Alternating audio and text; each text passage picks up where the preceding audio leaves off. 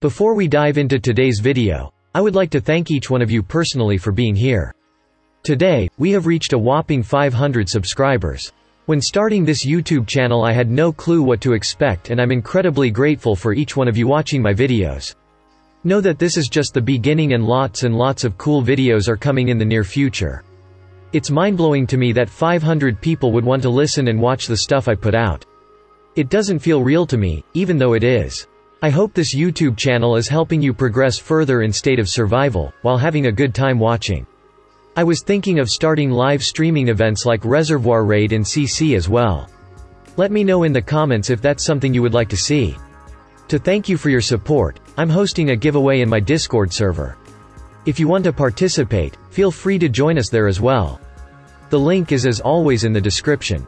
I also wanted to show you a little trick I use during the Infected Hunter events. I hope it's helpful to you. Without further ado, let's dive into the gameplay. The Martha's Porch Time event is currently going on in my state. It is a variant of the Hunting the Hunter event, where you can obtain Travis fragments. The hero frags you can obtain are always one generation below your current hero generation.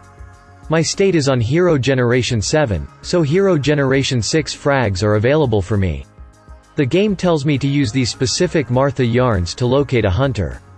Killing the monster would offer us a chance at a free Martha frag. From my own experience, I feel like those frags are rarely handed out and I got sick of wasting 40 stamina on them. In the end, the main thing I want to achieve is the chest with 10 free Martha frags. We would have to spend 400 stamina in total. That's a lot and I'm not willing to give my plasma from Intel up for this event. My alliance and myself have been using the regular Travis booklets to complete the main chest reward. Those only cost 25 stamina. Both the complete and incomplete logs can be used. However, we are very stingy and want to spend as less stamina as possible.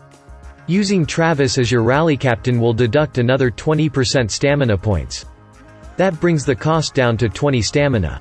I won't let you sit and watch 5 minutes of waiting for the rally to launch, so I'll cut this part. We obviously got the Travis frags, but that was never our main goal.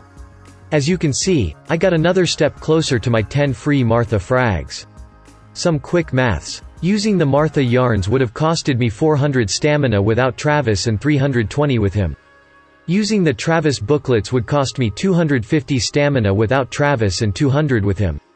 That is a full bar of stamina or a few thousand biocaps to refill my stamina bar. That's all for today. Don't forget to subscribe for more State of Survival hacks and join the Discord server to participate in the giveaway event. I'll see you in there. Bye.